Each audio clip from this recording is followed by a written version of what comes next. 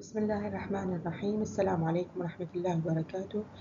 آه، طلبتنا الأعزاء بعد أن صنفنا ال antibiotic على أساس ال biosynthesis pathways اليوم راح ناخذ أول class اللي هو ال antibiotic derives from amino acid أول مجموعة راح ناخذها اللي هي ال beta lactam antibiotic Members of this class of antibiotic contain three carbon and one nitrogen ring.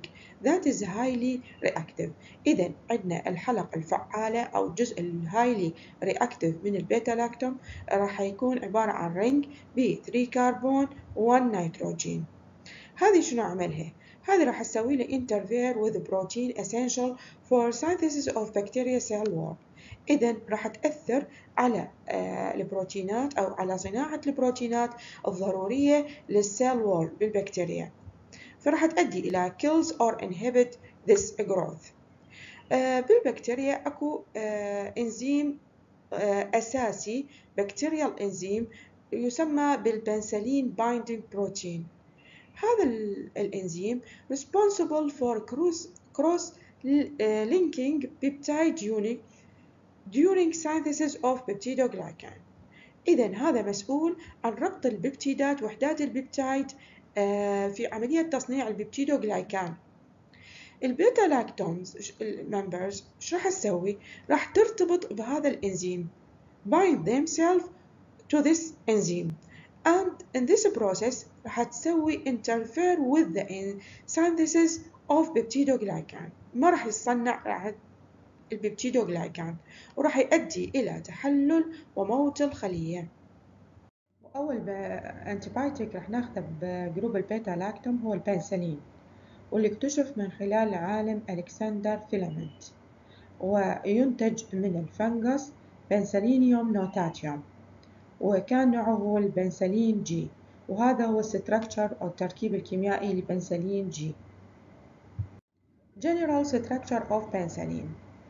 طبعا ال penicillins are a group of beta-lactam antibiotics consist of natural penicillin and semi-synthetic penicillin سواء كان ال natural أو semi-synthetic فال basic structure مالتهم واحد.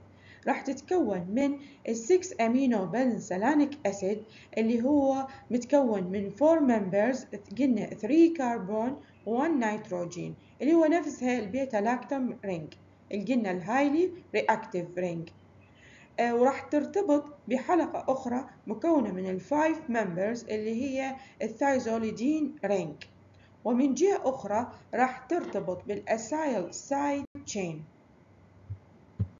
وهذه عندنا ال N-acyl side chain أو ال N-acyl group اللي ذكرناها راح تكون variable and show structural difference in different type of penicillins يعني على أساس اختلافها أو اختلاف بالتركيب مالتها راح تكون عندي different type of penicillin اذا الانواع المختلفه راح يكون الاختلاف وين بال N-acyl group عندنا طبيعيا اكو 3 natural penicillins that are produced directly and can be obtained from the fermentation liquors of penicillium يعني ثلاث أنواع طبيعية من البنسلين ممكن أن نحصل عليها من ال fermentation of penicillium هذه ال natural penicillins structurally modified in the laboratory.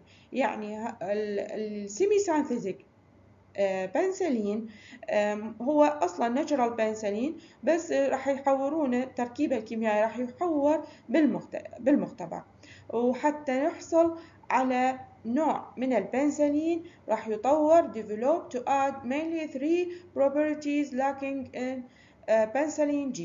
يعني راح يطورون بفالصفات وثلاث صفات أساسية موجودة بالبنسلين جي راح تطور حتى يكون المضاد الحياتي أو البنسلين أفضل من ال penicillin G وهذه ال three ال properties اللي راح تتطور هي to the beta-lactamase طبعا كلنا نعرف إن إحنا أكو resistance للبنسلين. آه وظهرت هاي ال resistance تقريبا بعد سنتين من استخدامها يعني مدة كلش قصيرة. فاحتاجوا حتى يطورون هذه الصفة يعني لأن رأسا البكتيريا كونت إنزيم اللي هو البنسلينيز اللي هو يحطم آه، حلقة البنسلين. فيحتاجوا إلى يطورون هذه الصفة. الصفة الأخرى هي ability to remain active in the acidic pH. ولأن راح نشوف هسه بصفات البنسلين أنه ما يتحمل الأوساط الحامضية. يعني ما راح يقدرون يأخذونه عن طريق الأورال. الصفة الأخرى to enlarge the antibiotic spectrum. وقلنا أنه البنسلين هو narrow spectrum فيحتاجون أن يطورون هذه الصفة حتى يصير antibiotic يعني large أو broad spectrum. عندنا البنسلين activity بنسلين G is a narrow spectrum antibiotic as its activity to gram-positive bacteria, especially gram-positive cocci and some spirochetes. البنسلين G is not active against the gram-negative bacteria. ليش? Because their bacteria are impermeable to this antibiotic. It is found active against Neisseria, gram-negative uh, gonococcus bacteria. Properties of penicillin. Unfortunately, ال 4 member beta lactam ring راح تمتلك فد صفات كيميائية وبيولوجية which has created a number of problems in the therapeutic utilization. Biologically, the microorganism resistant to the action penicillin G من خلال uh, produce البيتا لاكتميز enzyme قلنا ورا سنتين تقريبا من أخذ البنسلين أو من اكتشاف البنسلين ظهرت عندنا resistance للبكتيريا قامت تنتج إنزيم اللي هو lactamase enzyme penicillinase. هذا الإنزيم شو يسوي؟ hydrolyze the beta lactam ring to form inactive penicilloic acid. يعني راح يحطمها ويحللها ويحولها إلى مركب غير فعال اللي هو ال penicilloic acid chemically penicillin G is rapidly inactivated when the pH is more acidic than 5 or more alkaline than 8 يعني عندنا لا يشتغل بالأوساط الحامضية ولا الأوساط القاعدية لذلك كان أول ما يعني ابتدوا ياخذونه هو injection ما ما ما يقدرون ياخذونه عن طريق الأورال In acidic condition penicillin G is converted to the phenolic أسيد إذا بالوسط الحامضي إيش راح يتحول؟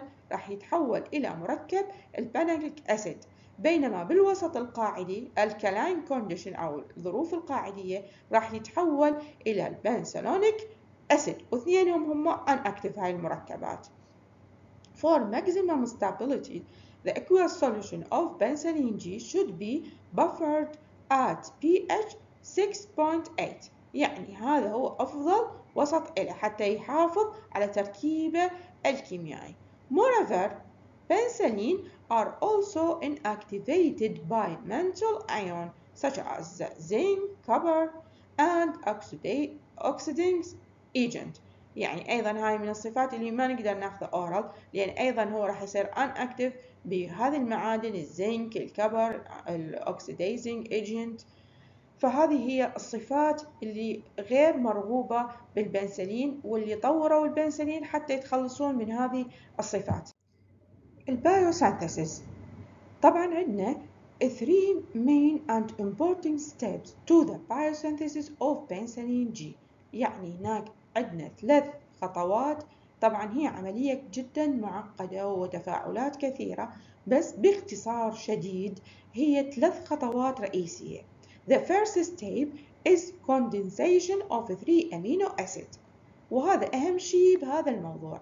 عندنا 3 amino acid راح يصير لها condensation راح تتكثف أو تتقارب اللي هو ال aminoadipic acid L-cysteine وال-L-valine راح يشكلون tripeptide بس قبل أن تتشكل tripeptide ال amino acid ال valine راح undergo uh, epimerization to become D-valine وهذا طبعا كل هذه ال condensation راح تكون بفعل انزيمات معينة وتحفزها جينات معينة بس أنتم أهم شيء أهم شيء في هذه الخطوة تعرفون ال three amino acid اللي راح تبدي تتكون منها البنسلين واللي هي ال amino adipic acid وال L-cysteine وال L-valine. The second step in the biosynthesis of penicillin G is the oxidative وبال oxidative conversion of linear uh, ACV ل tripeptide اللي صار عندي تكون عندي ال linear راح يتحول إلى bicyclic intermediate isopenicillin N إذا في هذه الخطوة من خلال ال oxidative راح يتحول عندي ال linear peptide ال ACV إلى bicyclic intermediate isopenicillin N. بفعل أيضا إنزيمات معينة ومشفرة بجينات بجين معين. ال isopenicillin N is a very weak intermediate because it doesn't show strong antibiotic activity. ما به فعالية فعالية بيولوجية قوية.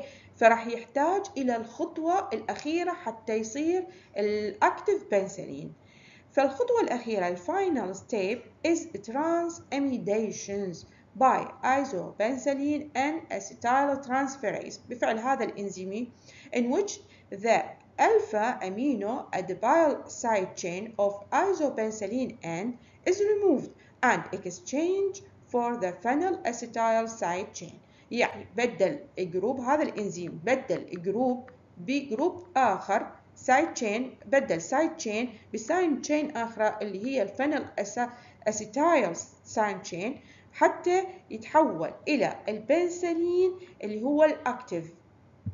وهنا عندنا مخطط يوضح لنا باختصار شديد عملية ال biosynthesis of penicillin G فهنا تشوفون الخطوة الأولى ال 3 أمينو اللي هي ال amino adipic acid وال L-cysteine وال L-valine راح يعانون عملية ال condensation وراح يتحولون إلى ال tripeptide ACV هذا ال tripeptide راح تجري عليه العملية الأخرى اللي هي ال oxidative وراح يتحول ال isopenicillin N.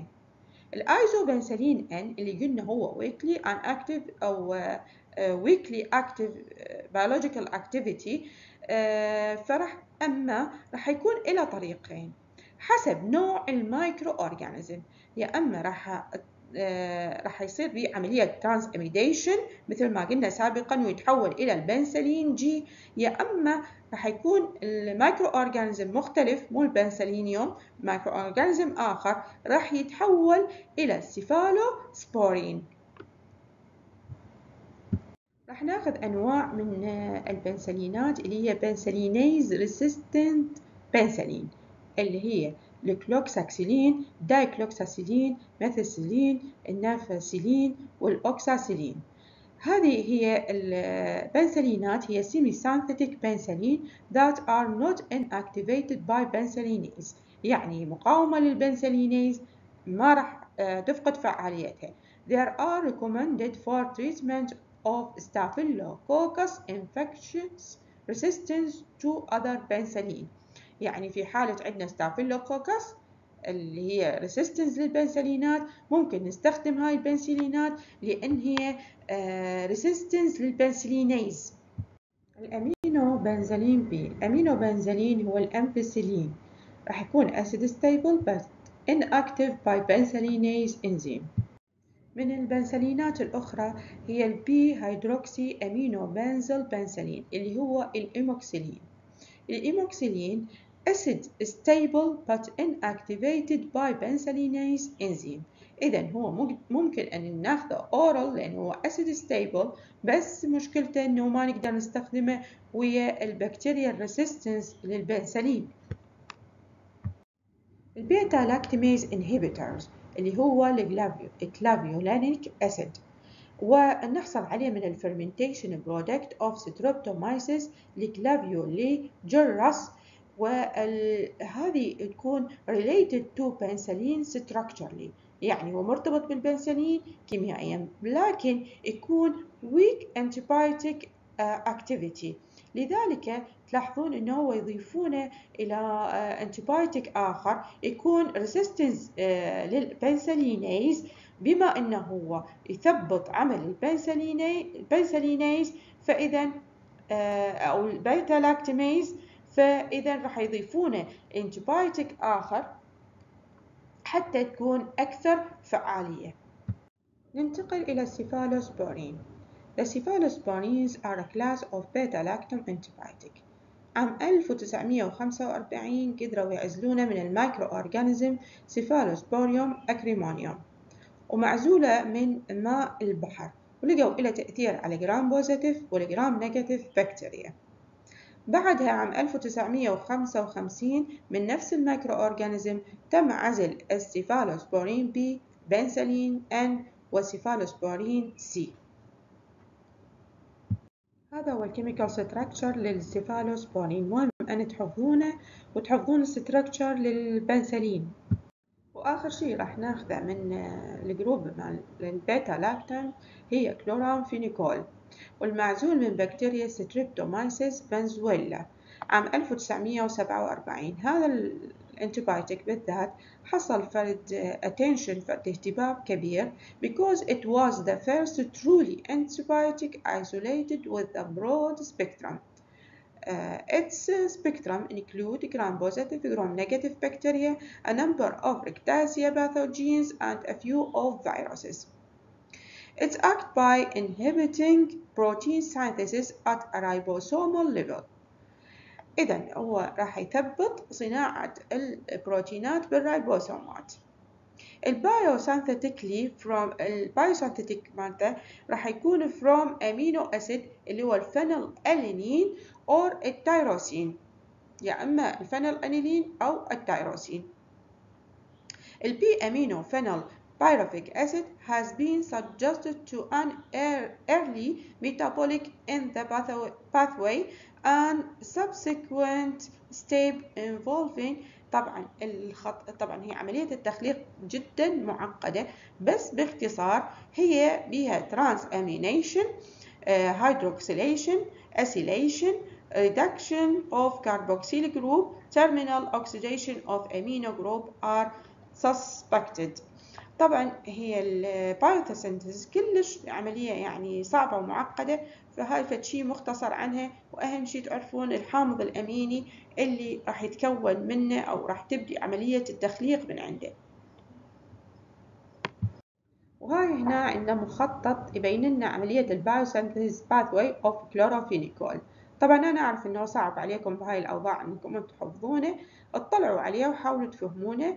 تشوفون الحوامض الأمينية راح تكون راح تمر بسلسلة من التفاعلات والتغيرات حتى توصل إلى مركب الكلورامفينيكول واليوم راح ننهي محاضرتنا وإن شاء الله المحاضرة الجاية راح نبدي بمجموعة جديدة من ال antibiotic شكرا جزيلا لإصغائكم.